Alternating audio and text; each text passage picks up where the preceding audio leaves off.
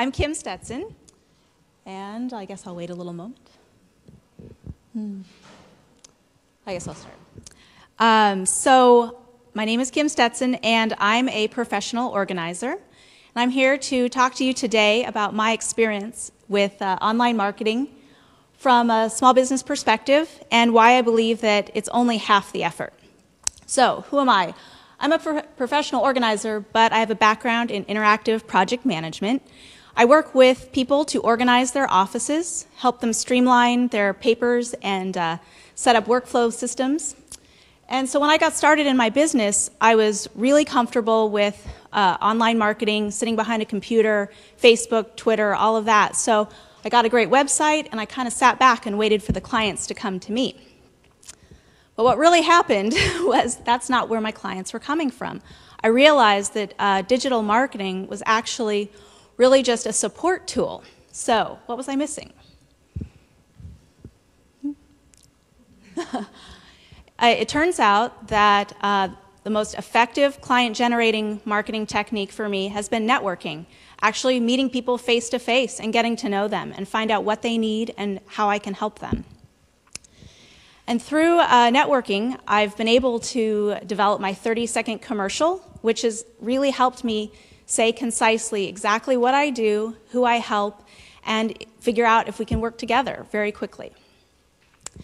Uh, the cool thing about uh, networking is that once you meet somebody, then they can go online and they can actually get to know you better. So you actually develop your connections um, and they, they become more meaningful.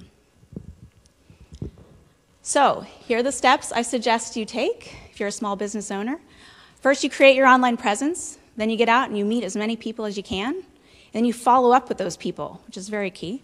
And then you maintain your online presence. So, creating your online presence. I started out with the basics. I got a great website. I uh, signed up for Twitter, got a Facebook page, LinkedIn profile, all of that. There's a lot. I'm sure you're learning a ton today.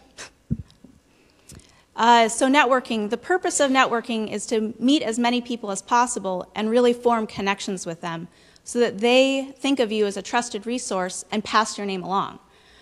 So there are formal networking groups uh, such as BNI and LeTip, and you can meet with people weekly so you really form strong connections. Another great way to find out about local networking groups is through meetup.com, and also just ask the people that you meet what else they go to follow up is really key, and I actually think that my follow up is what has actually won me a lot of new business. Um, the people that I really connect with, I generally give them a call within one or two days. Um, for other people, I'll email, and then with all the rest, I will connect online. So I'll go to their websites, I'll read their blogs, respond to them, follow them on Twitter, uh, connect on LinkedIn, and start a conversation to develop the connection. So maintaining your online presence is really important because it helps build your credibility and shows that your business is active and thriving and that you're engaged. So you need to get out, get online and learn and participate as much as you can. So for me, the, a big challenge has been balancing my time between online marketing and networking. Uh, I'm more comfortable behind the computer online, so that's where my natural tendency is. So I have to schedule time for me. and I use my calendar as a way to make sure I uh, get out and network with people and balance my time. I list out all the activities and actually block out time on my calendar each week so that I can um, track what I'm, how I'm spending my time. And uh, it allows me just to um, make sure that I'm hitting all the touch points.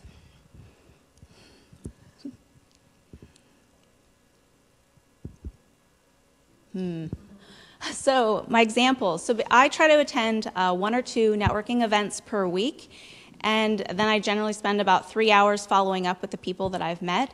Um, and then I like to schedule about six hours out of my week for um, research and learning and um, actually uh, just getting out there online as much as possible. And I balance that all with actually working with my clients. So uh, digital marketing is really only half the effort. And if you're a small business, balancing your time between networking and online marketing is really crucial to your success. So meeting people face to face is what gives your online presence purpose. Thank you.